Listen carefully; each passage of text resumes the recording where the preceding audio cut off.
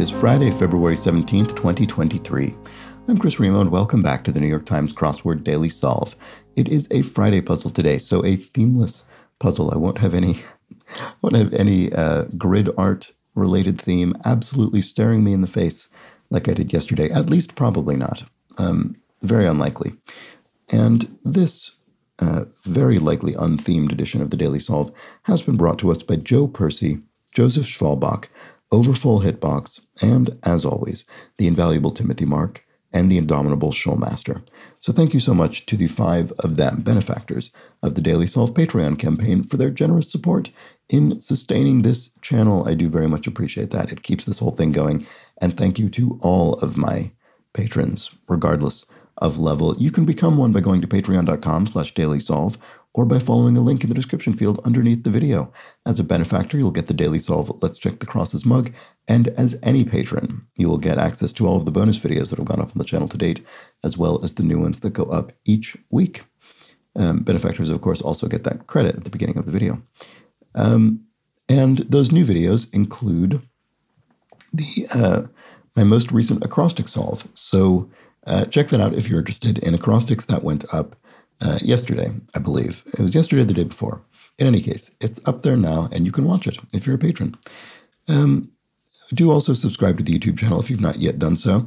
And you can join the Daily Solve Discord chat server in another link in the description field underneath the video, and that is a nice friendly chat community. So thanks to everybody who's subscribed, who's joined the Discord, or is a patron. And thanks to you for watching there. So now let's get on to the puzzle itself.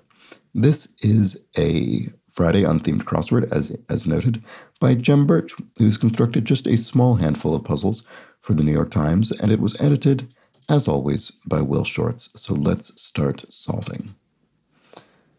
Um, I can see we're back to symmetry, and there's another little L in, in the puzzle. I assume we're not going to be taking the L and following it to connect two parts of an answer, but but we'll we'll just have to watch out just in case a room warmer of sorts. Does radiator work? No, it doesn't.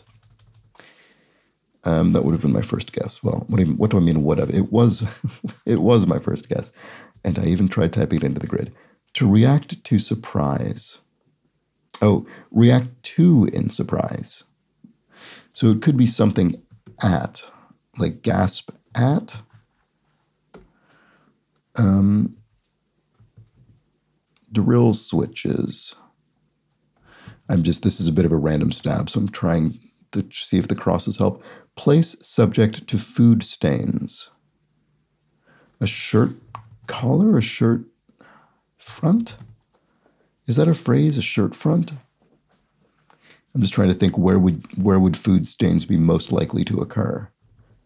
Kind of code, penal code, or um, prison code, or I don't know.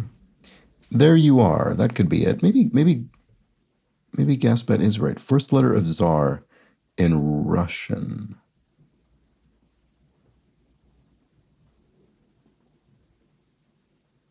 There must be, yeah, I mean, I don't, I visited Moscow once and I got enough practice sort of reading the Cyrillic alphabet that I was able to kind of read it phonetically just because it's, it's obviously what everything's printed in, but I didn't, I certainly didn't know the names of the letters of that alphabet. So I assume that's what this asking is asking for, and I just do not know the answer.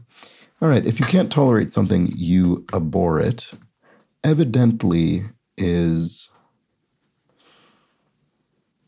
um, Oh, sorry. It's evidently in quotation marks. So it's something you'd say. It's not a word that means evidently. So I see is something you could say in place of saying evidently. Someone explains something to you and you say, oh, evidently. So I see. Okay. So T. It's really not what I was expecting this to be. Oh, it's not. Sorry. This isn't. Why did I put. Why did I put that there? Abhors. Can't tolerate. She can't tolerate it. She abhors it. Also, even if it were singular, abhor doesn't have an e there, so I'm not sure what that was about. So good. I'm glad I I'm glad I double checked that because it would have made no sense if it were T because then we wouldn't have need, needed the in Russian bit and it wouldn't have been as straightforward as first letter of. There would have been something punnier. So in any case, this must be that makes sense that this would be C with TSE. Um, given the way that the word Tsar actually begins in its, I don't know, Romanized form, I guess. So I suspect that's right. Kind of code. Okay, so not not penal or prison. Well, obviously it wasn't going to be penal. A postal code for a mailing address. And if you're miffed, uh, you're sore. Maybe this isn't postal code. Um, hurt. Oh, it could be. It could be still. Just trying to think of how this could all work together. So let's let's put that back in and see, keep going. First name in R and B. Etta, like Etta James. Drill switches. Oh, about faces. In a military drill, you switch direction. About face. Okay. And gas heaters are, oh no, singular, sorry. Singular gas heater is a room warmer of sort. There we go. Okay. All right, that all worked out actually. Ennui plus wealth is affluenza. I remember this was in the news. I don't remember what the context was exactly, but this was a sort of phrase that was used to describe, I guess, in a in a to put it in a pithy manner, sort of rich people problems. It was sort of a dissatisfaction that accompanied vast wealth or something like that. Or maybe it was, maybe it wasn't that. But but in any case, that's what this answer is going for. Obviously, a, a um, portmanteau of affluent, so wealthy, and influenza, the illness. All right, evil conglomerate on Mr. Robot. I have not actually seen Mr. Robot if I saw these three letters in a five letter space in the grid ordinarily, I would just assume, oh, it's E. coli, but um, no, or econo, such you know, sort of prefix suggesting economizing. Uh, could be ecole, French school, um, but I do not know the answer in this case. Con- contractor's project, informally, a, a reno, a renovation, so a general contractor, a building contractor. Animal form of Harry Potter's Patronus. Um, I'm not really sure what that's about, but an animal, a stag is an animal. So that seems reasonable. Let's check the crosses. Jet engines do it. Jet engines roar and does well enough is gets by. Okay, there we go. That all worked out. So maybe this is E Corp, like the E Corporation, the evil corporation. I assume that's not what they're named for, but it seems like it based on the clue. To judge at home is to ump, to umpire, so to be a judge in a baseball game, essentially, at the home plate. Okay, savages. So this is savages um, as a verb, I think, because it could be mauls. He, you know, he savaged the other guy, he mauled the other guy. What Moana means in Hawaiian? Um, see, I think I learned that at, at one point. I wouldn't have remembered it off the top of my head, but with the with the clues, it, it seems pretty clear. Was or with the the crosses was very exciting informally. It see hmm, informally. I'm I'm not sure offhand. Chopin piece inspired by a dog chasing its tail. Um, Minute Waltz? That's a Chopin piece, isn't it? just I'm just I don't know the, I don't know the thing about the dog chasing its tail. I don't think it's just that it would fit with the NU, and I'm pretty sure that's a Chopin piece. Um, and those are there's some distinctive letters in there, so let's check them and see if it works. The farming industry. Oh, right, something biz, Ag- agribiz, agricultural business. The farming industry informally fictional figure who visits the night cloaked deck. Night cloaked deck. Is it Ahab from Moby Dick? I'm just thinking that because a deck of a ship, I assume this means. And Ahab was a uh, kind of had sort of a, you know, he had a vile temper. He was a, a, a kind of embittered, angry man. So you could imagine him visiting the night cloaked deck in an evocative way. Vikings, he was the one who hunted the great white whale, obviously. Vikings swig of ale? Is that particularly associated with Vikings? I guess so. Company with a Brickopedia online reference. That must be Lego. There must be a sort of Wikipedia equivalent for Lego called Brickopedia. Referring to Lego bricks. And rapper blank sweatshirt. Oh, I think I learned this in the crossword. Earl sweatshirt. I recognize now. And equipment for gamers could be headsets for chatting with other teammates or what have you. Pivotal figure in the English Reformation. Anne Boleyn, I suppose.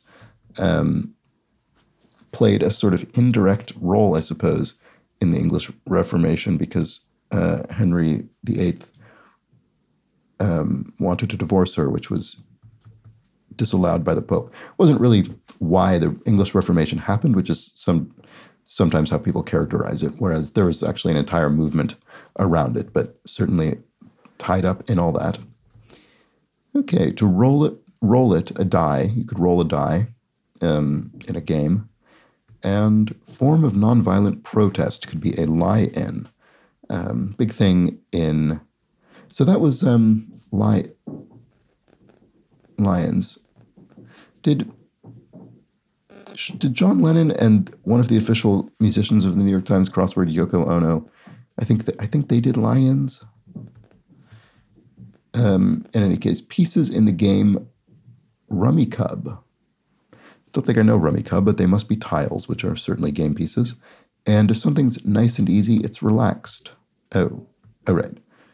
That works. This looks a little bit odd, though, doesn't it? Confounding contraptions. Oh, puzzle boxes. Okay, good. That ended up being very helpful. That that ZL uh, was successful at the carnival booth. Say, won a toy or won a prize, maybe. Um, if you win a game at a carnival booth, sometimes you get a, I don't know, stuffed animal or whatever sort of prize. Whom the Irish may call a gossoon, a lad. I'm not certain about this, but it would fit the crosses. Its index case occurred in Meliandou, Guinea. Okay, well, index case, so it must be uh, an illness, so Ebola or virus.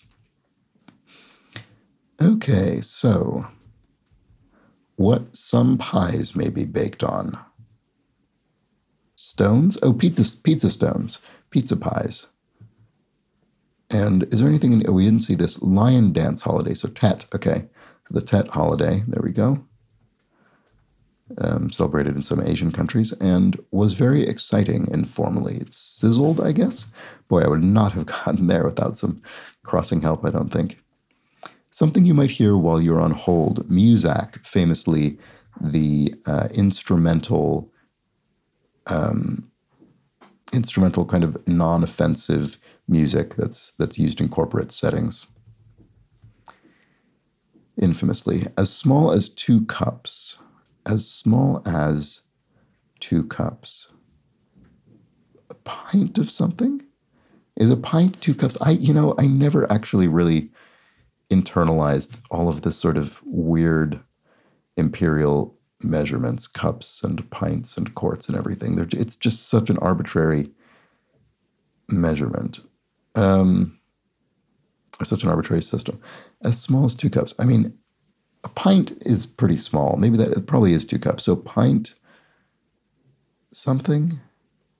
I'm just putting that in and I'll check the crosses and we'll see. Kind, kind of code. Oh, penal code, right. So, right. So we had kind of code up here and then penal code down here. And that was one of my guesses for the above. So, or not, not actually a guess because it wouldn't have fit, but one of just eh, along the way of formulating a guess, it came to mind. Some Hanukkah servings are latkes. I thought that's what this was going to be based on that TK, uh, those crosses there. Flora could be plants, so latkes potato pancakes. Okay, so flora is the sort of local plant life of an area. Seasonal units for short are something with an S. Oh, pint, pint size. I see. Right. It's as small as two cups. It's a description of something. You say that thing is as small as two cups. That thing is pint size. Although pint size is used more euphemistically just to mean to refer to a person, usually being small, a child, or something like that. So hence the um, hence the question mark because we don't we're not actually using this as measurements, we're using it in a punnier, idiomatic way. Okay, seasonal units for short, right? Wasn't sure about that. The Third Man for One could be considered a film noir. I don't know that I necessarily consider it a classic film noir. It is a great film. It is a classic, absolute, all-time classic. I guess I, I guess I understand why it's considered noir in this case. It is a film with a sort of dark outlook on on humanity. I guess. Um, sort of post-war film, and it is sort of in the noir era, certainly. Anyway, great Carol Reed film with uh, incredibly notable Orson Welles appearance. Tea brand with passion and joy flavors. Tazo, Tazo, Tazo is a um, is a is a tea brand. So that must be it. And a big fight is a row, a big uh, argument. Waterzooi or Callaloo? Um, stew. Callaloo, I think, I've at least seen. I don't know about Waterzooi. That does not look familiar to me at all. I'll have to look that up. And outerwear for an old seven down, an old tar, an old, an old uh, sea dog, uh, an old sailor, such as Ahab, wears a peacoat. Maybe Ahab himself had a peacoat as outerwear. And seasonal units for short are ACs, oh, so air conditioning units, I see. So seasonal because you'd only use them during warm weather, which tends to be during the summer months. Sucker for a fictional storyline. I do not know what that's getting at. And here we have go out for a bit, to nap, to, to be out, to be asleep. Just for a bit, though. Heracles killed its eponymous lion, the lion of Nemea. Um, one of Hercules' famous feats, and sucker for a fictional storyline. I'm not sure what that is. Full of flavor is. What about these? Cry of dismay could be dough or that's more frustration. Dismay, ach, or something. Native of the Dutch Caribbean and Antillean or something. That's not right. Issa of Little. Well, Issa Rae is an actor and creator of television. I don't think I'm familiar with Little. Um, I really liked her show Insecure. Native of the Dutch Caribbean, cellist Pablo. Don't think that's familiar to me. Whistler on the Range. Not sure about that either. This could be a Reuben, maybe, native of the Dutch Caribbean. Cry of dismay. Ach, maybe it is that. Does that help? Oh, I just don't think I know these. Well, let's put this in and see if it helps anything else. Full of flavor. Oh, robust, maybe. It's got a robust flavor. It's full of flavor. Some extractions, ores, you could extract ore from a, a ore deposit.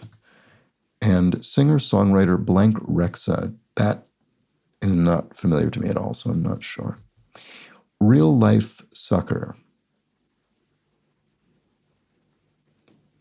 Um, some sort of bug. I don't think that's. I don't think that's going to be it. Low life, a sleazeball. Yeah, that looks pretty good. That's helpful. Those crosses were very helpful there. Uh, okay, so this could be Baba or BB or something. Not sure. Tracked, so to speak. Oh, not sure. Go to spot for multiple dates. Question mark. Does it mean date the fruit? Go to spot for multiple dates. Hmm. Broncos, but not Impalas in brief. And Impalas is capitalized. So there's a model of car, the Chevrolet Impala. Broncos. I think that is that? Oh, right. That used to be a Ford. I don't think it's around anymore, but Ford Bronco. Um, is that related or is that something completely different? Is this, are they maybe sports teams? Broncos, but not Impalas. In oh, SUVs maybe. Is the Bronco an SUV? That would make sense. And an Impala definitely isn't. An Impala is a, is a car. Okay, so sucker for a fictional storyline. A dupe? A dupe is a sucker. Why would it need to be a fictional storyline? Is that because the dupe is specifically a sort of trope of fiction or something? Oh, I see. As in a fictional storyline. No, I, it means someone you would, someone to whom you would feed a fictional storyline under the guise of truth, and they would fall for it. A dupe. Okay, I see. Go to spot for multiple dates is. I do not see it for some reason. Oh, but a vampire bat is a real life sucker. Okay, there we go. So, palm? The palm tree? A date palm? That makes sense. That's where you'd get more than one date from a palm. Okay. So it was the fruit. Tracked, so to speak. Oh, it made sense. It tra- that, that tracked, that made sense. Okay, good. A place for a frog or a mouse? A pad. Right, so a frog on a lily pad, I suppose, in a pond, and a mouse, a computer mouse, on a mouse pad. Very good, very clever. So if it tracked, it made sense. And cellist Pablo, boy, I'm just not sure about this. And Whistler on the range, a kettle. Oh, on the, yeah, on the um, um, stovetop, the range, the stovetop in that sense, and it'll whistle. So, I mean, these days, I think probably most people have electric kettles, but you could still have a manual stovetop kettle that whistles when it boils. And cry of dismay, not ach, but ack. I don't know why I thought of ach first, but so this is uh, Pablo Casals, um, and I'll need to look. I need to look him up, and there we go. That was the Friday puzzle, and it was probably it was probably on balance a more difficult puzzle than yesterday's, but I definitely didn't struggle with it nearly as much because there wasn't a theme that I was for some reason remaining obstinately oblivious to. So uh, there we have it.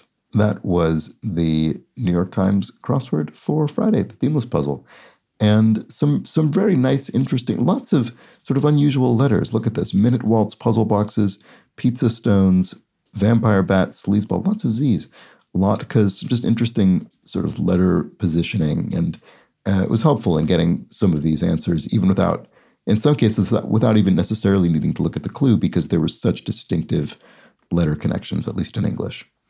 So uh, that solved very very well. I, I, in the sense that I thought it was, it I clicked with it, I suppose, and and um, had a nice smooth solve. So I enjoyed that one. Hope you did as well. Let me know how you fared. Me know how you fared versus yesterday. Probably quite a few of you did better than I did yesterday. Um, in any case, there we go. That was the Friday puzzle, and um, there were just a couple of things I wanted to read from yesterday's puzzle. So we'll take a quick glance at those. So, first, Elan Eitan makes the incredibly interesting and important observation that I wish I'd seen myself, and I'm not surprised I didn't, given how late I was to observe the theme. Uh, so, if you recall, yesterday's theme was based around the concept of taking the L, and what that meant was answers followed L's that were spelled out, that were that were written, uh, uh, sort of illustrated in black cells, and answers were split up with the kind of by the 90 degree turn of those L's. And also the grid art L's served as literally letter L. And Alan Eitan points out it's noteworthy that except for the grid art, there are no L's in the grid. That is a great detail that I did not notice. And that kind of thing often happens with theme with themes of that sort. And I'm always very impressed when constructors pull it off. So so well done uh, to that constructor for managing that. The only L's in the grid were the big illustrated ones. Very well done. And Nix Hicks uh, summarizes the role of a residential advisor, an RA, which I think I sort of explained in a fumbling manner. So she says a student in the dorm or hall compensated to help keep order, resolve conflict, bolster community, etc.